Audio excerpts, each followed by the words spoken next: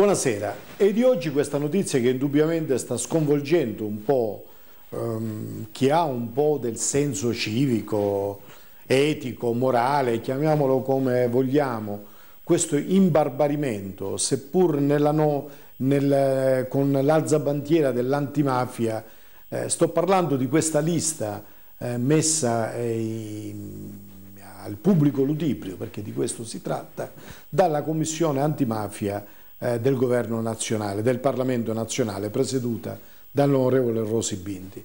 L'onorevole Rosi Bindi, persona che conosciamo, ma certamente mh, conosciuta perché da decenni presente nella, eh, nel panorama politico nazionale, è stata ministro della sanità, un ottimo ministro della sanità, è stata presidente del Partito Democratico, ha svolto egregiamente, persona sempre impegnata eh, nell'antimafia, nell'anticorruzione, una persona certamente che con la sua eh, attività, con la sua vita, ha sempre dimostrato di essere persona equilibrata, sempre attenta ecco, a discernere quello che eh, può essere il pubblico dal privato, dalle valutazioni.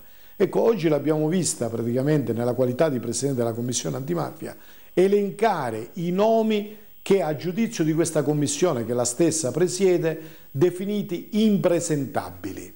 Ecco, a noi è sembrato veramente una cosa d'altri tempi, è come una caccia alle streghe, è come un imbarbarimento di questa situazione politica che la nostra nazione sta vivendo.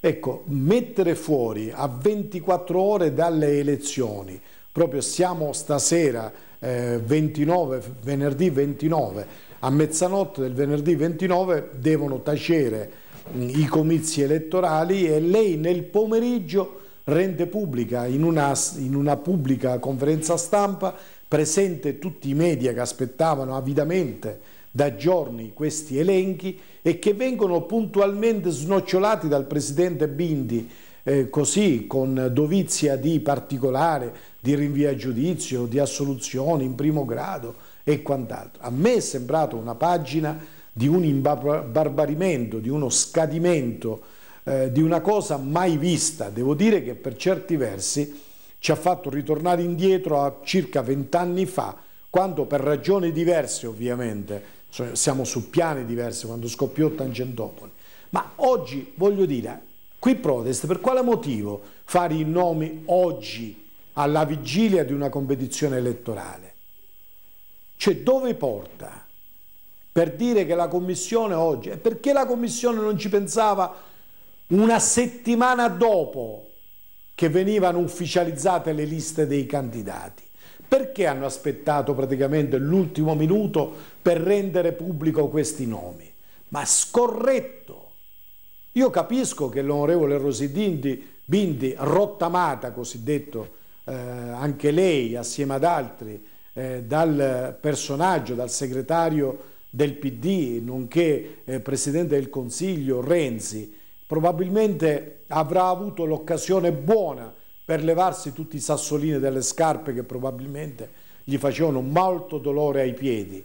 Però voglio dire, mi sembra uno scadimento ehm, formale, istituzionale, devo dire una cosa inqualificabile. Se l'Italia di oggi va misurata con questo atteggiamento, veramente c'è da mettersi le mani ai capelli. Siamo, sono disgustato.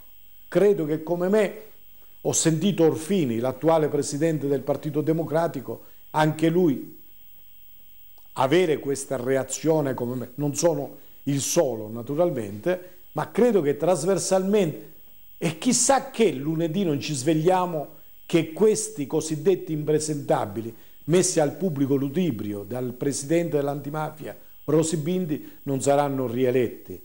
Cioè questo sarebbe il colmo, perché veramente c'è da, eh, da discernere. Cioè voglio dire, la legge italiana, così come parlavamo l'altra sera con l'avvocato Federico Bizzini, ma voglio dire, cioè, perché ci sono i tre gradi di giudizio? Fino a un giudizio definitivo. Nessuno può essere definito ladro o omicida.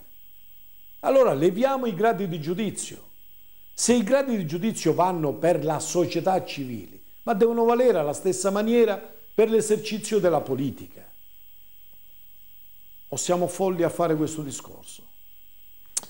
Andiamo ad aprire la nostra trasmissione stasera. Stasera crediamo che sia importante rimandare in onda e pregherei la regia di metterlo in, ehm, in posizione subito, subito dopo questa pausa pubblicitaria, eh, l'intervista rilasciataci dal commissario straordinario del comune di Caltagirone, il dottor l'ingegner Mario Larrocca, perché ha fatto affermazioni quanto mai interessanti, importanti, non era Cascino che parlava assolutissimamente, come si sentiva da mesi, ma era il commissario straordinario del comune di Caltagirone, l'ingegner Mario Larrocca. Per cui apriremo ancora questa trasmissione con il suo parlare, con il suo dire, eh, che è un dire alla, alla città, è un dire a tutto l'apparato lavorativo a tutti i livelli del comune di Caltagirone e, e vabbè, non aggiungo altro. Dopodiché ehm, passeremo al primo segmento